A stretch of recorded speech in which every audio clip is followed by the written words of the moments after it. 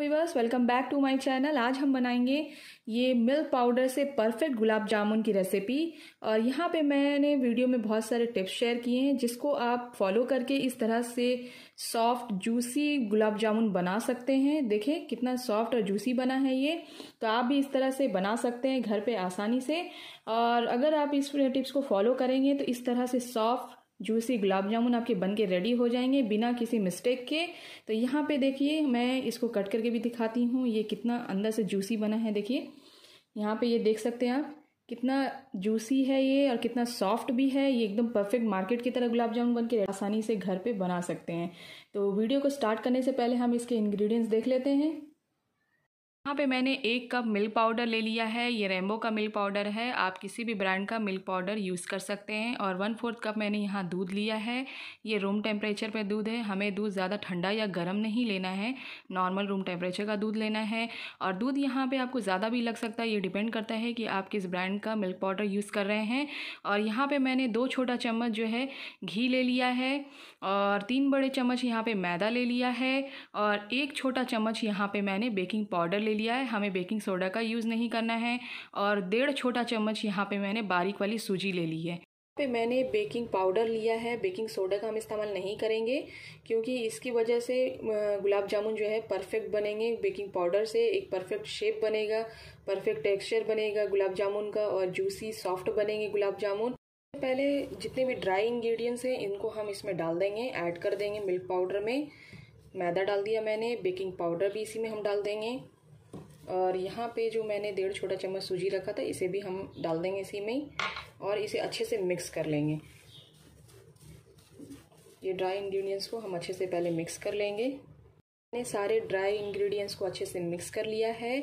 अब यहाँ पे जो मैंने घी लिया था, इसको हम डाल देंगे।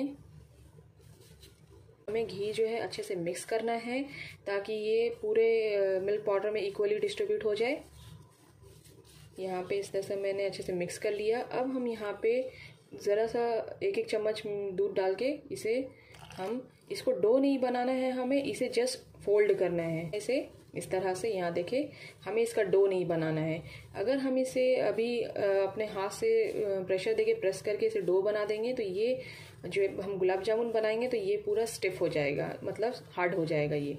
फिंगर की हेल्प से इसको जस्ट फोल्ड करेंगे इस तरह से। यहाँ देखें यहाँ पे मैं जस्ट इसको फोल्ड कर रही हूँ।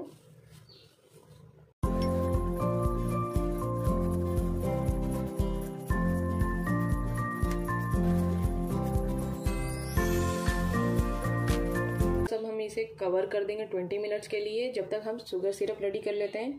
तो बस यहाँ पे मैंने शुगर सिरप के लिए दो कप चीनी मैंने यहाँ पे इस सॉस पैन में डाल दिया है। अब दो कप चीनी के लिए हम दो कप पानी ऐड करेंगे इसमें। जितना हम चीनी लेंगे, उतना ही हम पानी ऐड करेंगे इसमें और इसको बॉईल होने के लिए छोड़ देंगे। देखिए वीवर शुगर सिरप हमारा रेडी हो गया है। चीनी भी हमें जो चाशनी बनाना है, उसे जो है, हमें एक तार की चाशनी नहीं बनानी है। इसको हमें इस तरह से देखिए, चिपचिपा बनाना। ये देख रहे हैं यहाँ पे चम्मच में? ये किस तरह से ये चिपचिपा है ये। तो इस तरह से हमें थोड़ा स्टिकी सिरप चाहिए। अगर हम ज़्यादा वन स्टिंग कंसिस्टेंसी का सिरप बनाएँगे तो ये जो है गुलाब जामुन में अंदर तक नहीं जाएगा और गुलाब जामुन जो है हमारे हार्ड हो जाएँगे। और हमें इस तरह से ही टेक्सचर होना, सबसे इंपॉर्टेंट है कि शुगर सिरप का टेक्सचर परफेक्ट होना चाहिए। तो अब हम यहाँ पे गैस बंद कर देंगे। और मैंने यहाँ पे तीन इलायची लिया था, इसको मैं इसी में डाल दूँगी। यहाँ पे मैंने लेम, लेमन ले लिया है। इसके सात से आठ बूंद जो है हम इसमें डालेंगे इस सिरप में। और इसे अच्छे से मिक्स कर लेंगे हम। और इसको कवर करके रख देंगे ढक के।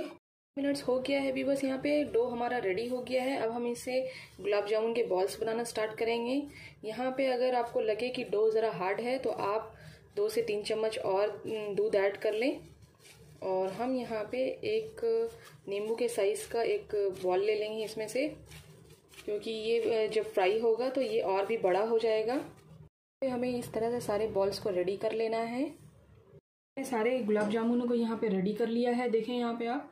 और अब यहाँ पे मैंने ऑयल को गर्म होने पे रख दिया था। अब हम ऑयल जो है चेक कर लेंगे। यहाँ देखें, हल्का ये गर्म हो चुका है। हमें ज़्यादा ऑयल गर्म नहीं करना है। जो है ऑयल को ज़्यादा हॉट ऑयल में गुलाब जामुन को ना डालें। अगर हम हॉट ऑयल में गुलाब जामुन को डालेंगे तो ये क्रैक होके टूट जाएँगे।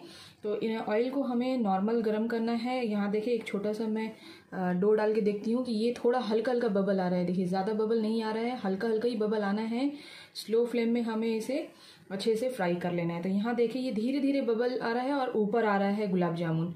यहाँ देखिए, ये डो जो है हल्के से फ्राई होके ऊपर आया है। इसका मतलब ये ऑयल का टेम्परेचर हमारा एकदम परफेक्ट है। तो अब हम धीरे धीरे गुलाब जामुन डाल देंगे। तो आप याद रखें, जितने आपकी कढ़ाई की साइज़ हो, उतने ही गुलाब जामुन डालें। ज़्यादा एक साथ ना डालें गुलाब जामुन। एक से दो मिनट हो गया है तो हम इस तरह से कढ़ाई को ऐसा हल्का सा ज़रा हिला देंगे, घुमा देंगे, ताकि गुलाब जामुन पलट जाए। हमें चम्मच से इसे पलटी नहीं करना है। यहाँ देखें ये फ्राई होता, हो रहा है और ये धीरे धीरे ऊपर आ रहा है। देखिए हमें गुलाब जामुन को चम्मच से हिलाने की ज़रूरत नहीं है, ये अपने से ही फ्राई हो रहे हैं, टर्न हो रहे हैं और ऑयल के ऊपर आ गए हैं। इसका मतलब ये परफेक्ट हमारा डो बना है। इसी वजह से गुलाब जामुन बहुत अच्छे से फ्राई हो रहे हैं। तो हमें भी इस तरह से डो बनाना है और गुलाब जामुन इसी तरह से बना के हमें फ्राई कर लेना है।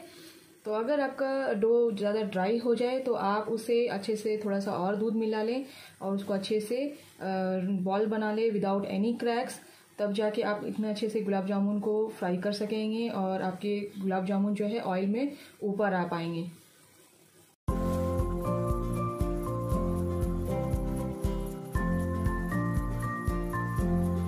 देखिए गुलाब जामुन अच्छे से गोल्डन ब्राउन हो गया है तो अब हम इसे निकाल लेंगे और डायरेक्ट जो है चाशनी में फटाफट से डाल देंगे। और याद रखें, चाशनी ज़्यादा उबलती हुई नहीं होनी चाहिए, नॉर्मल गर्म होनी चाहिए चाशनी।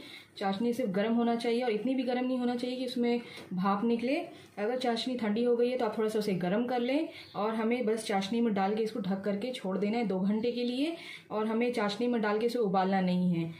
पे इस चाशनी में सब गुलाब जामुन को डाल दूँगी और हम इसे ढक के रख देंगे और नेक्स्ट हम बैच बना के इसमें फिर से ऐड कर लेंगे। बस, यहाँ पे मैंने सारे गुलाब जामुन को बना के शुगर सिरप में डिप कर दिया है। अब हम इसे दो घंटे के लिए ऐसे ही छोड़ देंगे ताकि सारा शुगर सिरप ये ऑब्ज़र्व कर ले, उसके बाद हम इसे सर्व कर लेंगे। यहाँ दो घंटे हो चुके हैं बस और सारा गुलाब जामुन में सारा शुगर सिरप अच्छे से सोख हो चुका है और ये परफेक्ट गुलाब जामुन बन के रेडी हो चुका है। तो आप भी इस तरह से इस परफेक्ट मेज़रमेंट के साथ सारे गुलाब जामुन को रेडी करें और ये सॉफ्ट और जूसी गुलाब जामुन को एंजॉय करें और जो मैंने टिप्स बताए हैं इनका खास ख्याल रखें और इस परफेक्ट टिप्स और ट्रिक के साथ आप आराम से घर पर बिना किसी मिस्टेक के आसानी से घर पे इस तरह के सॉफ्ट और जूसी गुलाब जामुन बना सकते हैं। मिल्क पाउडर के साथ। तो अगर आपको मेरी वीडियो पसंद आए तो प्लीज़ लाइक, सब्सक्राइब और शेयर माई चैनल। मैं मिलूँगी नेक्स्ट वीडियो में। अल्लाह हाफिज़।